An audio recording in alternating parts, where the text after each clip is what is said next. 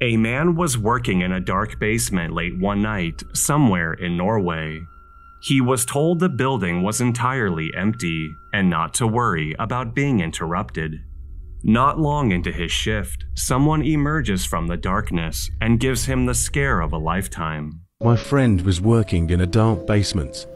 Then this guy came out of nowhere. Then the guy started whistling and walking towards my friend.